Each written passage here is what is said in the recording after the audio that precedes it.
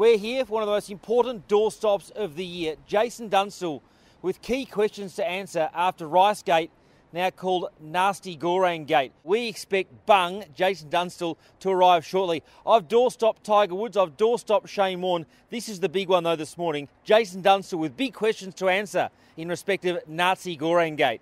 Just to give you an insight into a bit of doorstop tactics, you need to know what time they're arriving, ideally some inside information. You've got to get between where the person's arriving, in this case Jason Dunstall, and where they're going. He actually legit, I reckon, trains more than anyone else in here.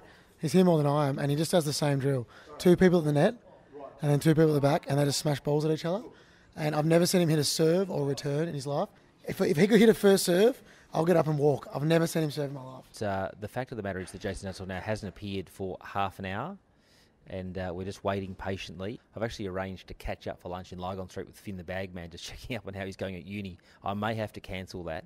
One of the uh, key protagonists, as Eddie would call them. I'm just here for a hit of tennis, mate. So uh, normally the chief would be here by now. We had some clarification from quarters this morning that perhaps the chief has re- offered a more recent apology. Right, okay. Yeah, I heard it was an eight-page text. I'd find that very unlikely. Silver Jaguar, the chief. That's all I can say. I've got to go. I've got It was a brown Volvo. No, it used to be beige Volvo. It was the worst Volvo going around. It used to be covered in bird shit too. See you. I've got to go. Ja- Jason, can we just. Uh, Jason's just arrived here. Eddie and Darcy and Will. Jace, we're, uh,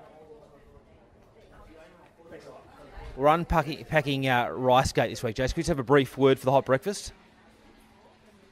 It's not wrapped.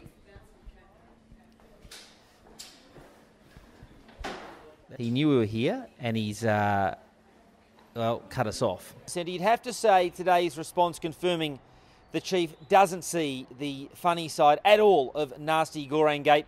But not, only does he want to not come in studio, he's not prepared to comment here at the National Tennis Centre. At least many questions unanswered as part of our investigation on a serious note. We'll stay on the case, but the latest here from the National Tennis Centre is that uh, the chief has not seen the funny side of nasty Goreng Gate.